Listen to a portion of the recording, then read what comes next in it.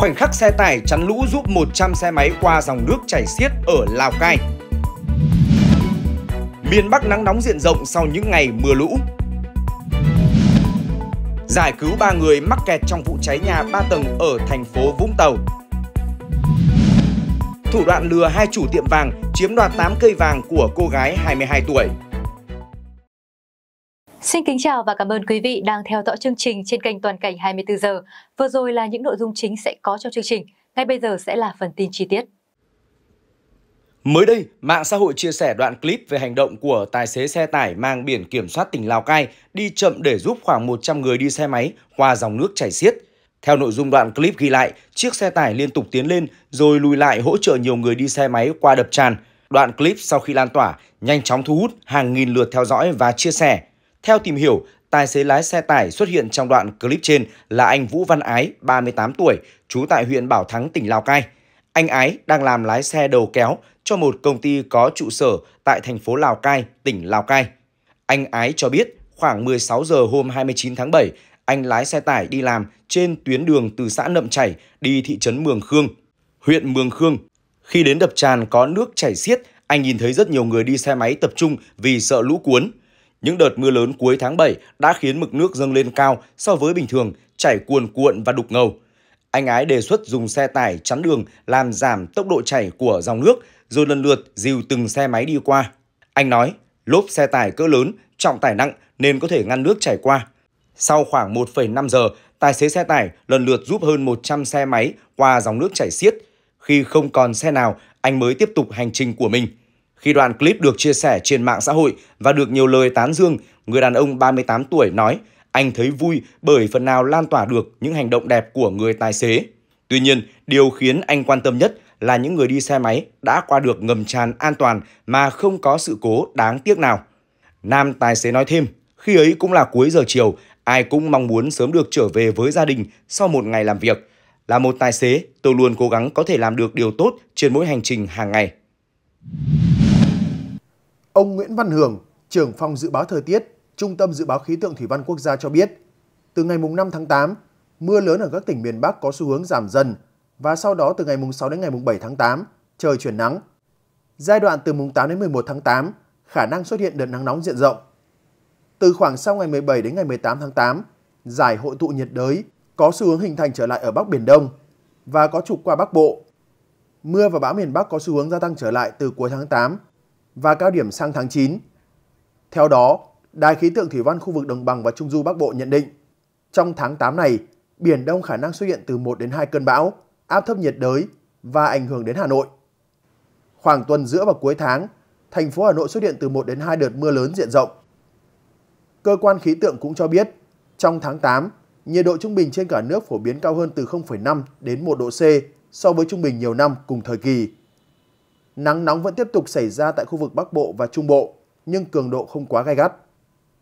Cùng thời kỳ này, lượng mưa ở khu vực Bắc Bộ ở mức sấp xỉ so với trung bình nhiều năm cùng thời kỳ, cao hơn trung bình nhiều năm từ 5 đến 10%. Khu vực Trung Bộ ở mức thấp hơn so với trung bình nhiều năm cùng thời kỳ, thấp hơn trung bình nhiều năm từ 15 đến 30%. Tại Tây Nguyên và Nam Bộ, lượng mưa ở mức sấp xỉ so với trung bình nhiều năm cùng thời kỳ, thấp hơn từ 5 đến 10%. Ông Mai Văn Khiêm, Giám đốc Trung tâm Dự báo Khí tượng Thủy văn Quốc gia cho biết, Bắc Bộ vừa trải qua những ngày mưa lớn diện rộng, tập trung ở các tỉnh vùng núi và Trung Du. Mưa lớn xảy ra dồn dập trong khoảng thời gian ngắn, gây lũ quét, sạt lở đất, ngập úng ở nhiều nơi. Ông Khiêm cho biết, tác động của một vùng xoáy thấp trên khu vực Bắc Bộ phát triển từ tầng thấp 1.500m lên tầng cao 5.000m, kết hợp với hội tụ gió Tây Nam dày là nguyên nhân chính gây ra đợt mưa này. Tại huyện Trương Mỹ, thành phố Hà Nội, người dân xã Nam Phương Tiến quay cuồng trong mưa lũ, ngập lụt. Nước sông Bùi tràn qua đê, dòng nước nhấn chìm nhà cửa, thôn xóm, nơi sâu nhất ngập khoảng 2 mét. Người dân đi lại trên đường làng bằng thuyền, cuộc sống đảo lộn do thiếu điện, thiếu nước sạch và môi trường ô nhiễm. Lý giải điều này, ông Khiêm cho biết, sông Bùi dài 91 km, bắt nguồn từ xã Lâm Sơn, huyện Lương Sơn, tỉnh Hòa Bình, chảy qua huyện Trương Mỹ, thành phố Hà Nội, cùng với sông Tích hợp lưu vào sông Đáy tại xã Phúc Lâm, huyện Trương Mỹ. Ảnh hưởng của rãnh gió mùa nối với vùng áp thấp do bão số 2 suy yếu, khu vực Hà Nội và tỉnh Hòa Bình xuất hiện mưa vừa, mưa to, có nơi mưa rất to.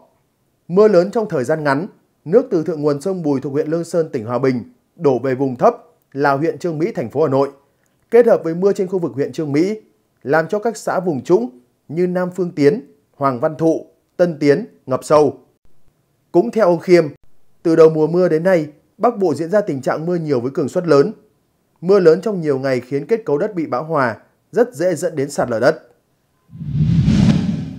Đã nhiều ngày trôi qua, kể từ khi ghi nhận trận động đất có độ lớn là 5 xảy ra, gia đình chị Trần Thị Quy ở xã Sơn Mùa, huyện Sơn Tây, tỉnh Quảng Ngãi vẫn còn nhiều lo lắng. Chị Quy lo sợ khi nhìn thấy căn nhà mình bị nứt, hư hỏng nhiều vị trí. Các trận động đất xảy ra những ngày vừa qua đã làm nhiều nhà dân và các cơ quan như trụ sở Ủy ban nhân dân huyện, trường học, trạm y tế trên địa bàn huyện miền núi Sơn Tây, tỉnh Quảng Ngãi bị hư hỏng. Bà Trần Thị Hạnh, Phó trạm trưởng trạm y tế xã Sơn Bua, huyện Sơn Tây, tỉnh Quảng Ngãi cho biết, cường độ động đất mạnh hơn trước đây. Trước đây chỉ vài ba giây và chỉ rung nhẹ. Đợt này rung lắc khiến cả nhà cửa cũng bị nứt toác. Huyện miền núi Sơn Tây, tỉnh Quảng Ngãi là nơi chịu ảnh hưởng dư chấn nặng nhất ở tỉnh Quảng Ngãi do nằm tiếp giáp với huyện Con Plông của tỉnh Con Tum. Huyện Sơn Tây vẫn chưa có thống kê cụ thể tình hình thiệt hại sau các trận động đất. Theo ông Đinh Trường Giang, Phó Chủ tịch Ủy ban nhân dân huyện Sơn Tây, tỉnh Quảng Ngãi, điều cần nhất lúc này là giải thích, chấn an người dân, hướng dẫn thực hiện các giải pháp đảm bảo an toàn khi xảy ra động đất. Ủy ban nhân dân huyện cũng đã ban hành văn bản đề nghị tất cả các cơ quan, đơn vị, trường học và lãnh đạo Ủy ban nhân dân các xã tổng hợp các số liệu do động đất làm ảnh hưởng đến tài sản của người dân cũng như của chính quyền địa phương, các cơ quan, ban ngành. Mới đây, Ủy ban nhân dân tỉnh Quảng Ngãi đã có văn bản khẩn chỉ đạo các cơ quan chức năng vào cuộc kiểm tra, chủ động phương án hỗ trợ và đối phó. Theo văn bản này, trận động đất mạnh nhất có độ lớn 5 tại huyện Con Plong, tỉnh Con Tum, ảnh hưởng các địa bàn lân cận như các huyện Sơn Tây, Sơn Hà, Ba Tơ, Minh Long và Trà Bồng của tỉnh Quảng Ngãi.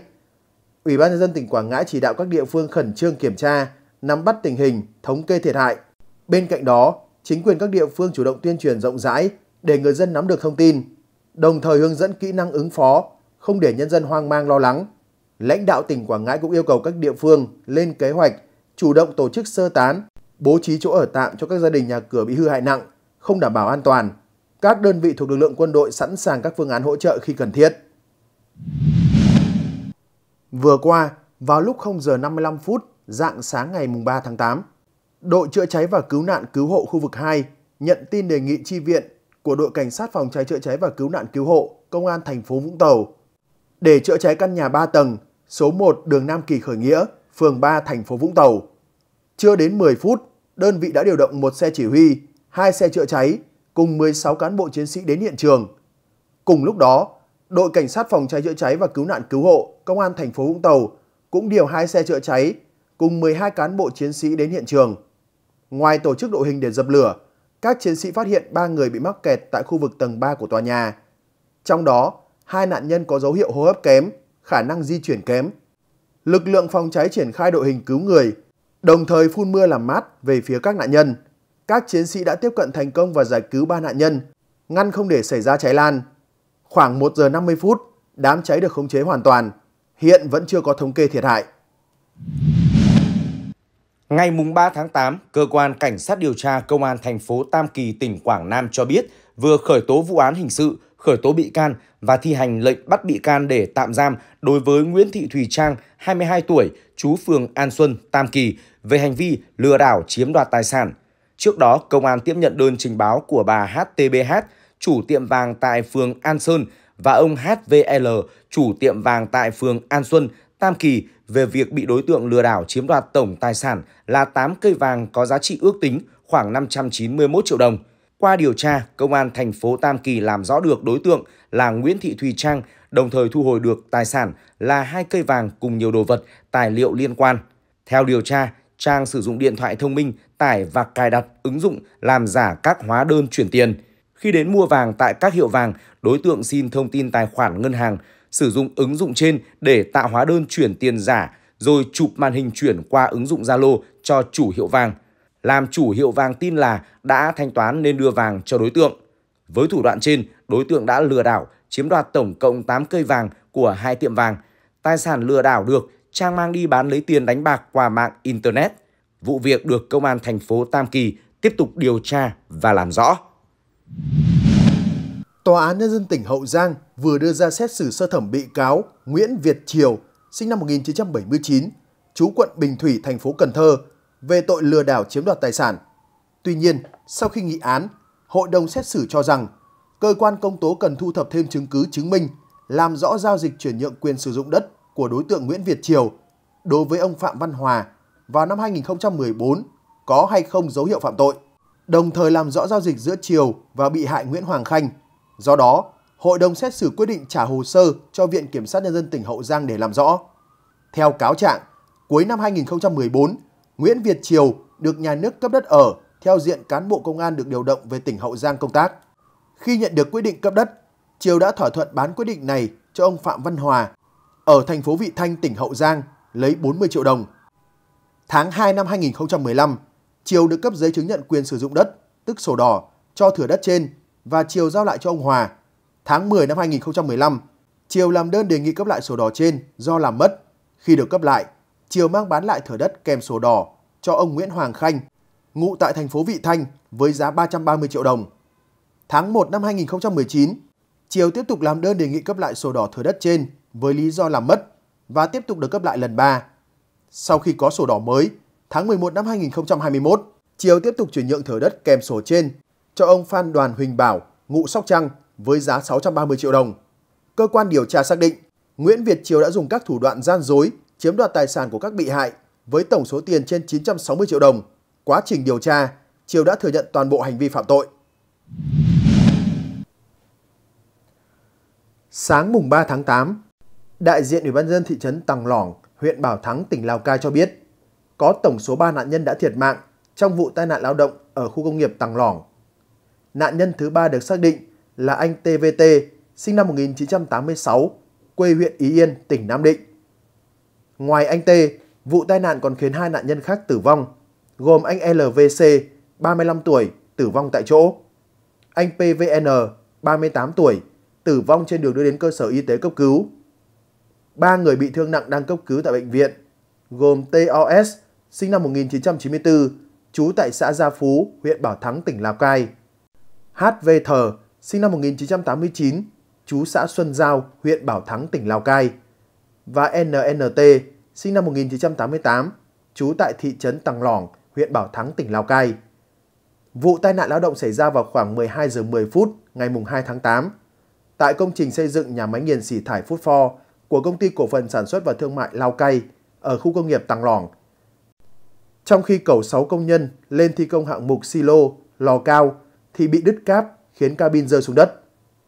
Ngay sau khi vụ tai nạn xảy ra, Giám đốc Công an tỉnh Lào Cai đã chỉ đạo Phó Giám đốc phụ trách điều tra trực tiếp có mặt tại hiện trường, chỉ đạo Công an huyện Bảo Thắng phối hợp lực lượng tại chỗ, khẩn trương đưa người bị nạn đi cấp cứu tại Bệnh viện Đa khoa tỉnh Lào Cai, phong tỏa, bảo vệ hiện trường, phục vụ công tác điều tra. Tại hiện trường, qua điều tra ban đầu, cơ quan cảnh sát điều tra xác định đơn vị thi công sử dụng cầu tháp nâng hạ hàng hóa để vận chuyển người là vi phạm quy định về an toàn lao động. Cùng ngày, cơ quan cảnh sát điều tra công an huyện Bảo Thắng ra quyết định khởi tố vụ án vi phạm quy định về an toàn lao động để điều tra, xử lý vụ tai nạn lao động trên.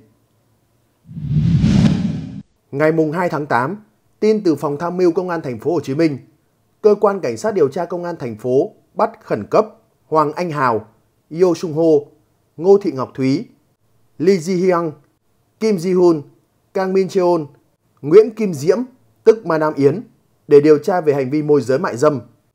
Trước đó, trinh sát phòng cảnh sát hình sự phát hiện nhiều dấu vết hoạt động về hành vi nói trên tại nhà hàng GNG trên đường Nguyễn Thái Bình, quận 1.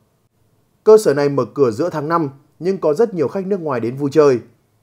Nhà hàng do Hoàng Anh Hào, Yo Sung Ho, Ngô Thị Ngọc Thúy, Cho Ki Wan làm chủ và trực tiếp điều hành quản lý. Nhà hàng có 30 phòng karaoke, hoạt động không phép và chỉ nhận phục vụ khách nước ngoài, chủ yếu là người Hàn Quốc, Trung Quốc. Tại tụ điểm này có 8 quản lý người Hàn Quốc, 3 má mình người Việt, 2 nhân viên phục vụ và hơn 120 tiếp viên nữ sẵn sàng đi khách. Nhằm thu hút khách đến nhà hàng ăn uống, vui chơi, chủ nhà hàng đã tổ chức quay clip quảng cáo trên nhiều nền tảng mạng xã hội khác nhau và đưa ra nhiều combo hấp dẫn để giới thiệu như địa điểm ăn chơi an toàn, có tiếp viên nữ múa sexy và sẵn sàng đi khách, giá rẻ từ 2,5 triệu đồng đến 4 triệu đồng. Địa điểm đi khách sẽ là các khách sạn, chung cư cao cấp, đầy đủ tiện nghi và có xe sang đưa đón. Ban giám đốc công an thành phố Hồ Chí Minh chỉ đạo đại tá Phạm Đình Ngọc, trưởng phòng cảnh sát hình sự, trực tiếp chỉ huy trinh sát, phối hợp các đơn vị nghiệp vụ công an quận 1 triệt phá đường dây nói trên.